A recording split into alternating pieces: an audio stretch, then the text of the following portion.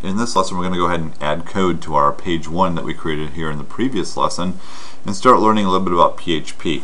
Now if you are using a different text editor and you're, you're, familiar with HTML, you've got the head and the body tags of the HTML and some of those text editors will actually provide that for you like I know Dreamweaver does. If you've got something like that, you want to put the PHP code that I'm going to be typing here in the body tags, in between those body tags. That's where all the PHP code will go for pages that have the HTML structure set up. This page does not have it, so what we're going to do is start off with a PHP delimiter. And so I'm going to go ahead and use the less than symbol. We're going to go ahead and put in a question mark, type in PHP, question mark, and then the greater than symbol.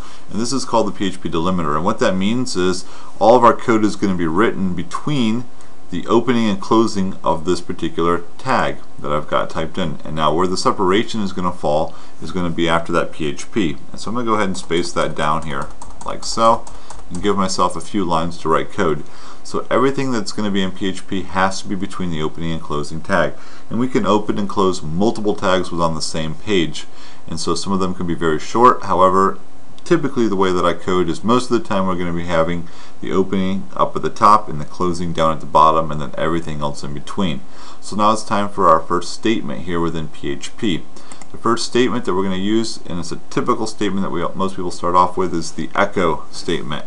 And so just find a line here. I'll just go ahead and click here on line 2 and we'll go ahead and type in echo.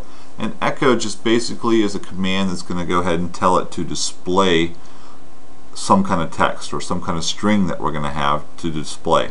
And there's another command that's very similar to this one. It's called print. However, the print is rarely ever used, and most people use the echo command. So we're going to go ahead and type in echo, and now we need to determine what I want to echo.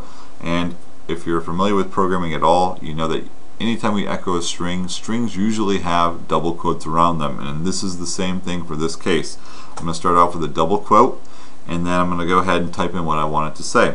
And since it's traditional to type in hello world for our first application, we'll go ahead and type in hello world. And I'll go ahead and use the exclamation point there at the end and end that with the double quotes. And so you can see hello world is the string. It's going to be our fall between those two double quotes.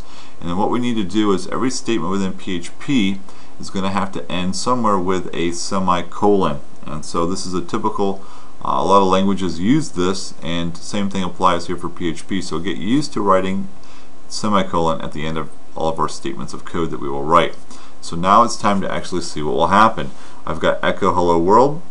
What I'll need to do now is save my page and so I'm going to go ahead and hit save here and then it's going to update that page that's in that folder within my web server that we had created from the previous lesson.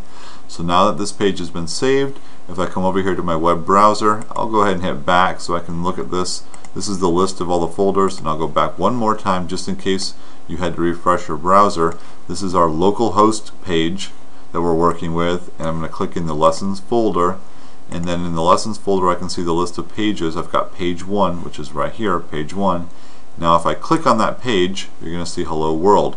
Sometimes, depending on the server that you have set up, you may have to refresh your page. So you may get used to having to hit the refresh button on your browser to see the changes that we make. But you can see now my web page displays the text, hello world, and you can see it right here. In fact, if I make a change, let's take away the exclamation point. I will have to save my page first, but then if I refresh it over here, you'll see that the exclamation point has gone away. Now I want to point out the fact that PHP is a server programming language, server-side web language for web pages. And what we've got here is this code is not interpreted by a typical web server. We have to have that PHP engine in there, otherwise uh, the web server will not understand what's going on. And let me go ahead and show you what I mean by that. On the client or my web browser that I have over here, if I want to view what is actually being displayed on this page. And I know we can see hello world. We actually have the source code that we can view. And on Internet Explorer I'm going to need to right click here on the top and choose the menu bar. And I'm going to go ahead and go to view source. And this is the actual code that we've got that gets displayed from our web server that we have. And you can see that there is no PHP code here at all. In fact all we see is just the hello world on this particular one. And let me show you if I go back a previous page and I view the source of this. Let's go to view source.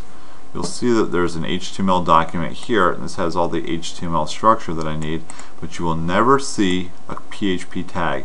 And that's because the PHP is processed first and then sent all out as HTML to the web server which is then sent to the web browser itself. And so the code that we will put in PHP will actually never be seen just the output or the result of that particular PHP code or statement that I have. And I'll go ahead and click on this page one here to show me my page again.